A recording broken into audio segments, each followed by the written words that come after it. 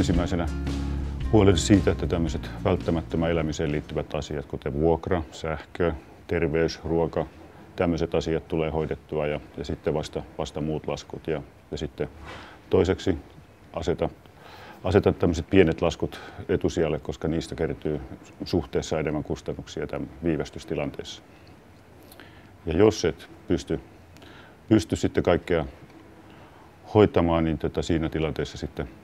tämmöinen maksusuunnitelma, maksujärjestelyn tekeminen voisi olla ajankohtaista ja tässä, tässä sitten velkojat ovat kyllä usein, usein vastaan tulevat,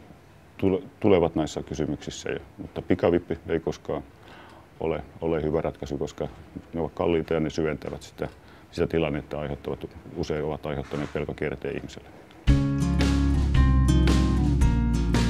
Jos on yhtään epävarmuutta siitä, että selviääkö laskuista, niin siinä vaiheessa kannattaa olla, olla yhteydessä, kannattaa ottaa yhteyttä ilman muuta velkojiin, velkojiin että, että tämmöinen maksusuunnitelman tekeminen ja maksujärjestelyt ovat, ovat valkoja ja perijöiden ammatti, ammattia, arkipäivää ja, ja ymmärtävät, ymmärtävät kyllä, että ihmisiä tulee ongelmia syystä tai toisesta. Ja jos, jos sitten ei,